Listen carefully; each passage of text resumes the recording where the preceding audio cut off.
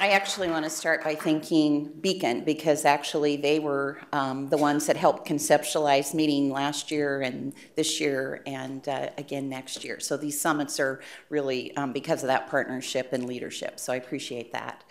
So um, one of the opportunities we have to talk about today is just some data about the workforce in general, and then also talk a little bit about some things at behavioral health that tie back to the data um, to begin the conversation with um, this panel today on emerging in um, trends and strategies.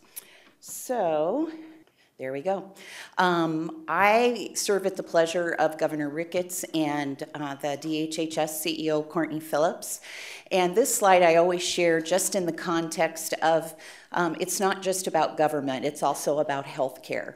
And so when we set priorities in the state for efficiency and effectiveness um, of what's provided by the government and um, the work to really make it customer friendly, when we're talking about healthcare, this means that we're working really, really hard to make sure that individuals have timely access to service, that they're able to have um, not only um, evidence-based, but very efficient, effective services that make a difference and, and move people towards recovery. And we want to do it in a very user-friendly way. Obviously, the growth part is why we're here. We've got to have workforce to take care of all of the healthcare needs that we have. This slide, um, which comes to us from the Department of Labor, is really looking at long-term um, occupation projections. So in the blue is uh, growth openings, which means, and again, you can look at total um, nursing um, occupations, registered nurses, nurse anesthetists, nurse midwives, practitioners, and licensed um, vocation or practical nurses. So the blue is really talking about as healthcare grows, as our population ages, what's the new number of nurses that we're going to be needing? And the replacement, which is in pink, is looking at as people retire and age out, people go on vacation, they change um, uh, careers. And if you look at um, the graph, under registered nurses, which is the second column, that means that we're going to need 13.5% more nurses than what we currently have in the state of Nebraska. And you can see it for each of the other professions. So we've got some work to do. Just again, um, this is nursing in general, not specifically for um, psychiatric nursing. In this next slide, then, it takes that data and breaks it out so it looks at it statewide and also by our um, more common urban areas and in our rural um, areas. So you can see statewide, we still have a lot of work, but then look for your own particular area. In Omaha, in Lincoln, in Grand Island, look how high those graphs are for what our needs are going to be. And then move it on out to um, the rural areas. We are not going to have enough workforce.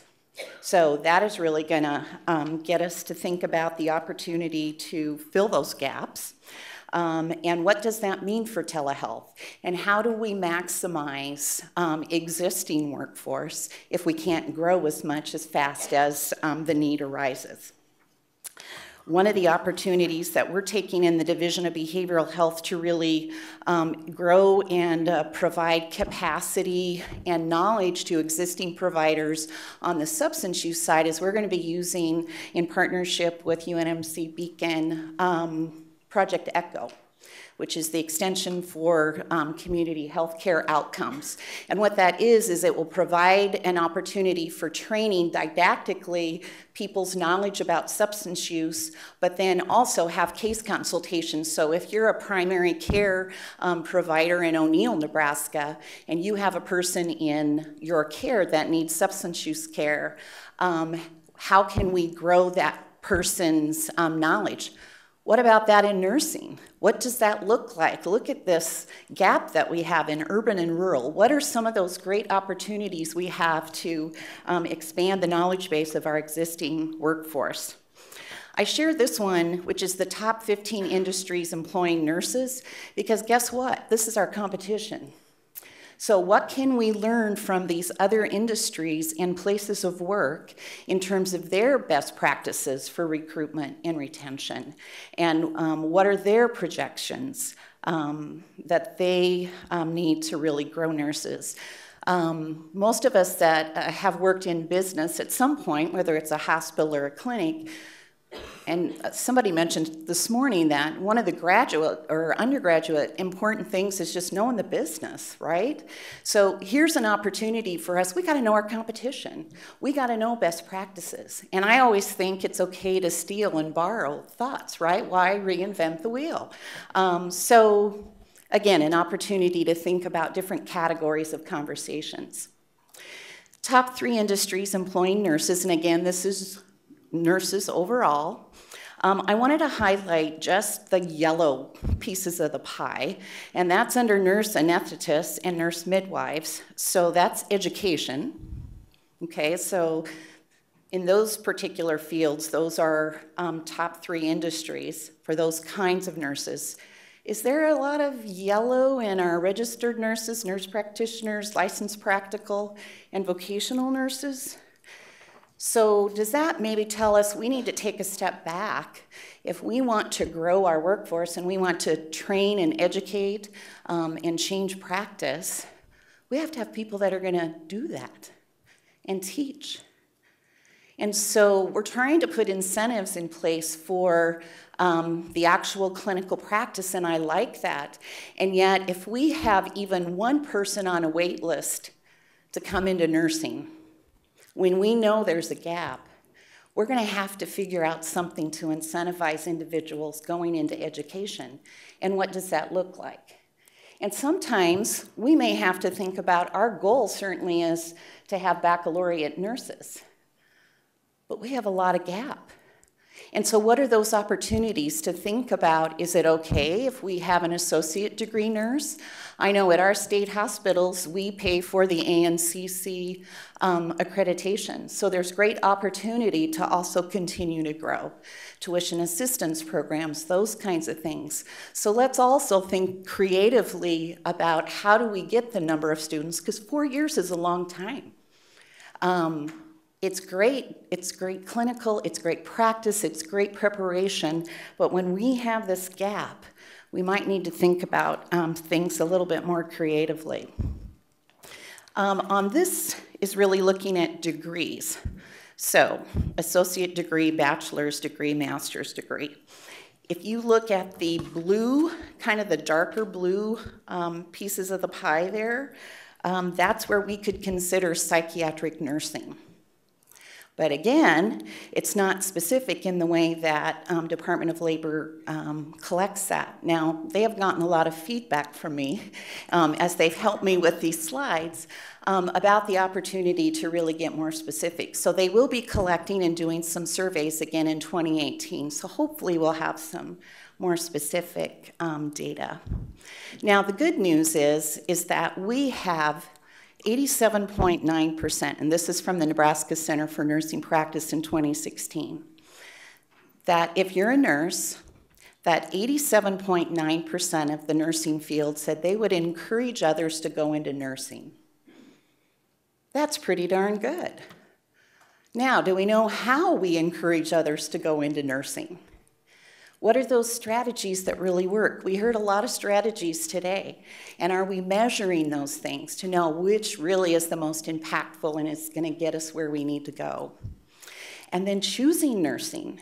85.4% of nurses say they would choose it, and they would choose it again. I think that is a phenomenal um, number and shows a lot of strengths um, with nursing. But again, we've got to be able to capitalize on specific strategies that'll get us where we need to go. Skip over that one. So, employment satisfaction for registered nurses. So, the top part is what RNs like most. So, people for whom I provide services, the patients. Work itself, and people with whom I work, coworkers. Those are the very top. So, what does that tell us again about drawing in strategies about graduation um, from high school and in trying to entice um, nurses? Are we demonstrating that they can make a good career? And, you know, when they have to invest what they do in tuition, can they see the long term um, strategies of the living that they can make because of the job security as a nurse? And then the bottom's looking at what RNs like the least. So, what's our takeaway there? Almost a third said there isn't anything I don't like. I would love to talk to those nurses and get their ideas and their positivity. That's fabulous. And then looking second is salary. And we've talked about um, salary, but hours and schedule is third. And we know work life balance from, we're behavioral health, right? Taking care of ourselves, taking care of our talent, and work life balance is critical. And so, if that's what they like least, we need to spend some time on investing strategies to address that and being as flexible as we can. This is looking at the age spread, um, and this was a point in time survey in 2016, and again from the Nebraska Center for Nursing. So on the left hand side, it starts at 21 years old, and believe it or not, it goes all the way up to age 90. So, and if you go from 80 to 90, there's still a tiny bit of yellow. There are some amazing nurses out there. Amazing nurses. So, they like nursing, they're staying in it. So, I want to talk to that 90 year old, right? The other thing is, if you look at between the blue lines, um, uh, like between the Generation X and then where the baby boomers are, you're looking to make sure that those lines are proportional because that means that as the nurses age that you're going to continue to be able to fill that gap.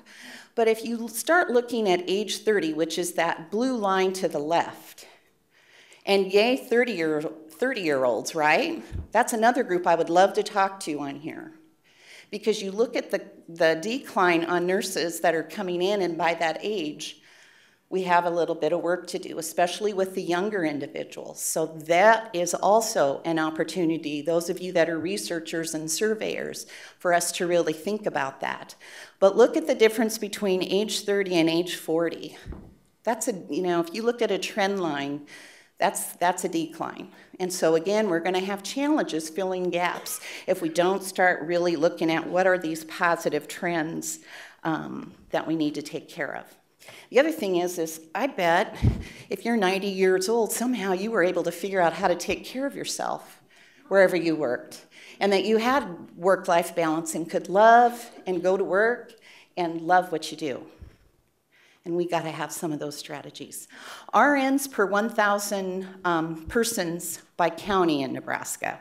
This is again Nebraska Center for Nursing. So the lighter the color, the fewer the nurses. The darker the color, the more, um, the more nurses we have.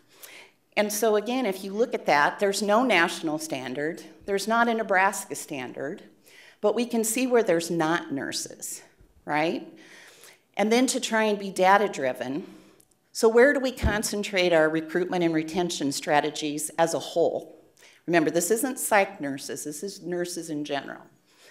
But if you think about the opportunity to look at prevalence of mental health and substance use disorder, the number of particular behavioral health providers also in those counties, um, could be poverty level, um, could be age, could be a lot of factors to overlay with this to really help us zone in and target.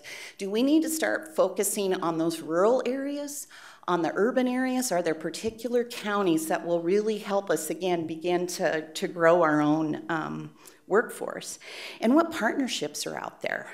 you can see that there, there's touch on even the counties that don't have any nurses. There's touch on places that do have nurses. And what does that look like again in mental health and psychiatric nursing to be able to grow and partner um, across our state? So, one of the opportunities I think we have, and this panel will be talking about, is responding to the data. So I'm going to challenge us a little bit, and those of you that work at the Regional Center know I do that, right? Yes. And the other thing that I say is when we're behavioral health, we have to have the hard conversations. We have to be role models of that. We have to be able to talk to each other. So I always say what we permit, we promote. So, what we permit, we promote. So, when we talk about having specialty psychiatric nursing, and we need that, We have individuals with severe and persistent mental illness, co occurring disorders, um, uh, folks that come to us um, under court order and mental health board commitments, um, individuals that um, have tried to take their life. We need specialty nursing and we need particular experts. But when we're talking about behavioral health, we are talking about the voices of not these people, not this group of persons. These are the voices of people with mental illness and substance use disorder. These are chronic illnesses, chronic relapsing, which means we're not going to fix them one and done, which is what many people, and that's why we have stigma, um, many people believe. These are the voices of people that are our neighbors and our family members, and if you look around this room, people in this room. And so, unless and until we identify those short term and long term strategies to get us where we need to go, we are always going to be hello, psych. We would never do that to a person that comes in and is on a medical unit. There would not be a nurse that's going to say, I don't do diabetes. I don't know how to talk to them. I don't know what to say. If I tell them, they might not take their insulin. We would never do that. And our nation and our job as ambassadors of change is to normalize that healthcare conversation. Because we will only be able to fill that gap if every nurse can talk to those patients, can screen and assess.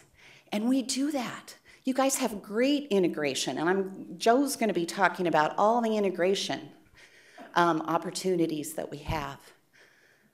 But we can't rely on specialty nurses, which many of you are, to take care of this state. There's, there's no way. So I am going to say that if we help our colleagues and our partners in the community think differently, have those conversations about what we're permitting, and identify what we want to promote, we will be able to flip the continuum. One of the things we've been talking about at the regional centers to have students, um, because many of them don't have psychiatric rotations, is that's fine. How about we approach it from a physical health? Why don't we have a clinic at the regional centers that's really all about physical health? And by golly, we might have some students that were able to come and do their assessment skills, diabetes, teaching, all different kinds of things, but they're doing it to a population that happens to have mental illness and substance use disorder. So, what does that look like? How do I use those partnerships that we have with students um, in Lincoln, Nebraska, and Norfolk, um, for example? But beginning to think differently and really pushing that. Um, this morning they were talking about labor and delivery and how, uh, I can't remember the examples about all the, I think it was with the DEU model, how many of them, like eight out of 10 of them wanted to go into labor and delivery, right? Okay, so if you're on labor and delivery, are we talking about what medications, if a person has mental illness, are okay for a pregnant woman? What about substance use? Did you know that methadone is a medication that people can take, women can take while they're pregnant? What about the NICU and babies that are born with withdrawal syndrome? There's great conversations, right, to continue to grow that capacity.